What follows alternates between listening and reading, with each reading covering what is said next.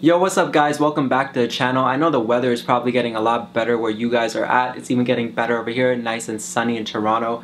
And that means you're probably going to be rocking those fitteds a lot more often. And in today's video, I'm going to show you guys how to get that perfect curve into your fitted hat without destroying the brim because that's the most important thing. Once you destroy this brim, there's no going back. So sit back and I'm gonna show you guys how to get this perfect shape into your hat step by step. So back in the early 2000s, wearing a fitted hat was like your Air Force Ones had to be straight out the store fresh and the flattest brims possible. As you guys can see here, I got these two that I've been saving for the video these two flavors. Honestly, fitted hats are like flavors these days because everything has a theme. This one's pink lemonade. This one is not the green eggs and ham, but honestly it could be with that little pink undervisor over here, pink brim over here.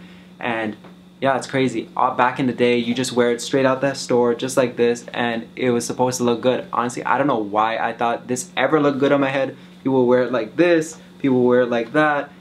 People are still wearing it like this and that, but that's not for me. It does not look good on my head. And honestly, when the curving of the brim started, it looked a lot better on me. Like as you guys can see here, this looks and feels a lot better on my head. It suits my head shape more and it's not sticking out entirely. I have a small head in general, so having that flat brim and with my face shape, it just kind of swallowed me. It did not look good at all. But when you curve the brim, it just looks better and it feels better.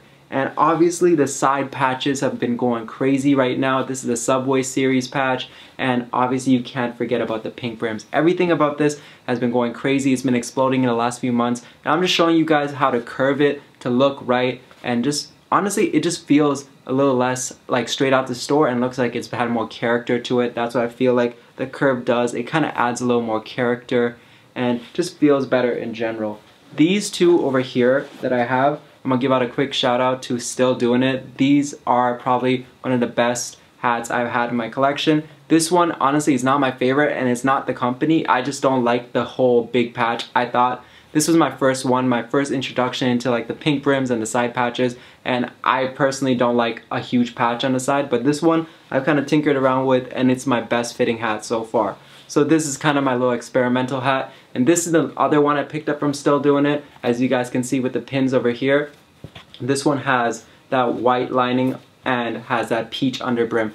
This is probably the best option for anyone out there in Canada to get. This is a Canadian based company. I know in America there's so many options out there, so many places where you guys can get a fitted, but in Canada, honestly, this is probably the best company out there to get your hat. Still doing it. They're doing a great job. This one actually glows in the dark over here and here. Like I said, it's crazy. Still doing it. That's the place to get your hats. And this one, if you can't buy anything online, you're watching this video, you don't have access to a card online to buy, or you just don't want to shop online, that's okay. You can go down to your local Champs and get one of these over here. This one is from Champs. You can probably find one at Lids with their new side patch series and under undervisor series that's going crazy right now too.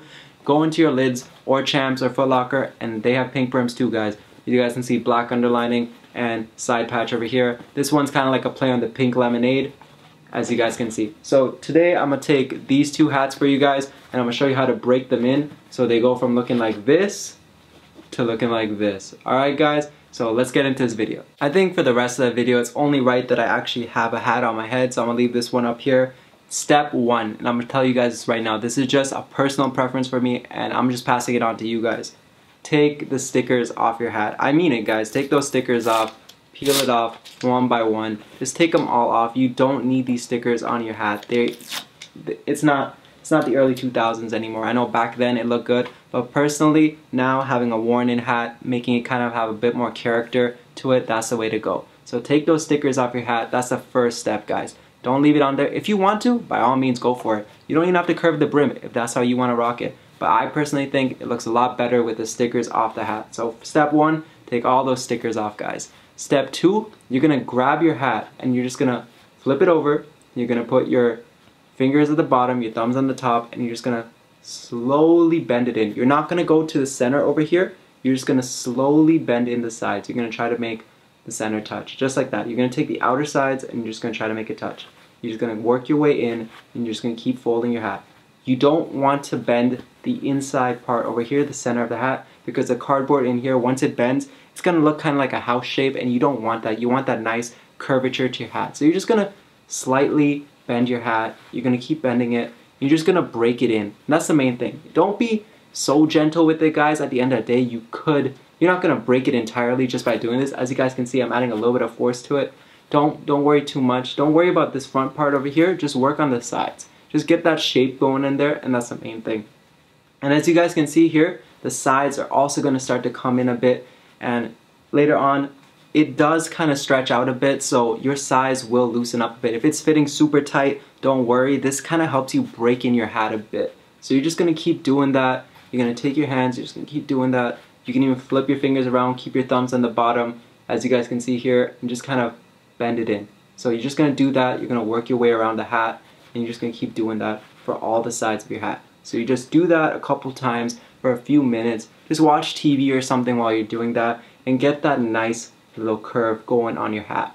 You can even start to kind of do this over here, just on the back. As you guys can see, I'm holding it where it will kind of connect the rest of the fitted. Just with my thumb and index finger, I'm just kind of bending it together. As you guys can see now, when I put it on my head, it's not going to be as flat anymore. It's actually a little looser on the sides, and that's okay. Don't worry. At the end of the day, your fitted can shrink if it was fitting just right and it isn't fitting anymore. Don't worry too much about that. The most important part is you want that brim to have a nice little curve in it.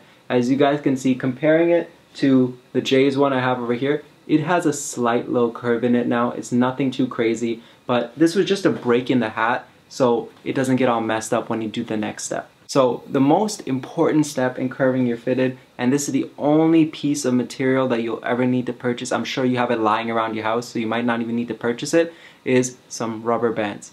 As you guys can see, these are the thicker rubber bands, so you want the nice thick rubber bands over here. You want to make sure they're nice and thick, and you need at least two or three in my opinion. I would say get three. Right now I'm holding two, but I'll show you guys how I kind of set up the rubber bands and how I put it on the fitted to give it that nice curve. So I'm gonna show you guys that right now.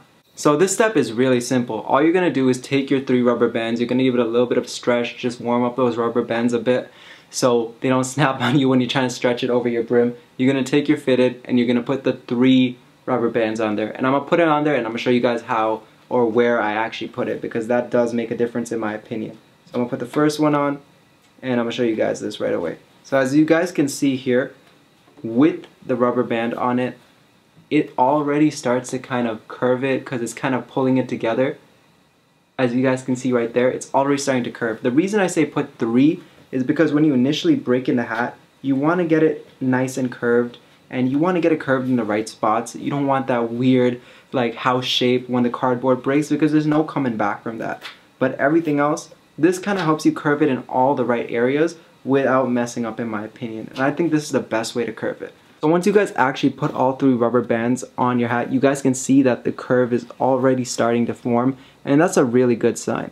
So I'm to show you guys exactly where I place the three rubber bands to get the best curve and kind of like the most symmetrical curve in my opinion. I feel like it's the best way. You can also take your hands and just kind of squeeze it together at this point, really get that curve going. And as you guys can see, that break isn't coming into the hat. The curve looks really exaggerated right now, but when you actually leave it like this, it's and take the rubber bands off, it does come out a bit more, but it's good to have a nice exaggerated curve and then just pull it apart a little later. So as you guys can see here, this is how I set up the rubber bands. There's three rubber bands on here holding it, and as you guys can see, the curve is looking really good right now. And what I really do is I take the first rubber band, I put it all the way to the back, touching the crown of the hat, and I just put it straight to the back. I put about a finger space in between the first and the second rubber band. It's about the halfway point of the brim at this point, and you want to put it there.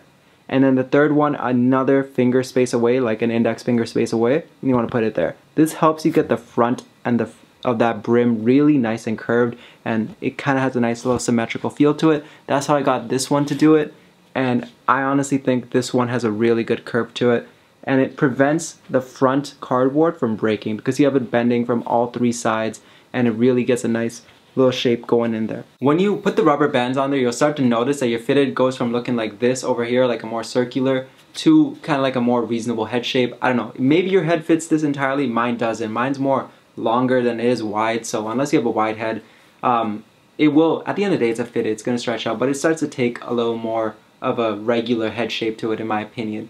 And I honestly leave it like this for two days. I don't touch the fitted, I don't wear the fitted, I don't make plans to wear it. I just kind of put it to the side and I don't worry about it at all because that's what helps this curved brim kind of stay in place and it won't come apart. I feel like it's the best way. I know you're excited to rock that pink brim or that peach brim or whatever it is. You want to rock it with that fresh outfit. But I would do this a couple days in advance of actually trying to wear that fitted out because it'll just look a lot more crisp, a lot more clean, and that curved brim will stay in there. Once you're actually done wearing your fitted hat, I actually put one rubber band back on there, the second one, and I just kind of leave it like that when I'm not wearing it. It just kind of helps that curve stay in place. You don't have to do that, but I kind of like my curve a little bit more exaggerated. So I'll kind of play around with it still to keep that curve in place. But as you guys can see, that's what's going on. You can even try it on so it kind of starts taking the form of your head. It's not going to be easy to get it in there with all these rubber bands because it's going to be a little tighter. But as you guys can see, it's starting to come together now and starting to look more like a curve fitted brim that I want. Alright, and there it is guys. In order to get this Alright, you're gonna need to do this over here. And it's honestly not a lot of steps. There are a lot of videos out there on this topic, but I just wanted to make my own because I know a few of my followers out there probably do wear fitteds, especially since a lot of you guys like essentials and things like that. You're gonna be on trend with a lot of things this summer, and I'm sure you guys aren't missing the pink brim wave or the side patch wave in whatever way, shape, or form. So this isn't in anymore. This is kind of the way to go. If you still rock it like this, don't worry. If it suits you, that's your style it's okay. But as you guys can see here, this is not working out for me, nor will I ever leave my house like this. Clean outfit right here, but this fitted does need a little bit of that curve to it to give it a little more symmetrical shape for my face type at least and honestly look a little more clean out there i'm not in the early 2000s anymore it's 2021 and that is what it is guys alright guys so that sums it up for this week's video i hope you guys liked it Make sure to leave a like, comment, and subscribe. And let me know how your fitted turns out. If you're on that pink brim wave, what color undervisor are you most excited about on a fitted hat? What side patch are you guys chasing? Subway series, your regular World Series patches, whatever it is, let me know down in the comment section below and comment your favorite team as well. That is it for this video guys and I'll see you guys next time.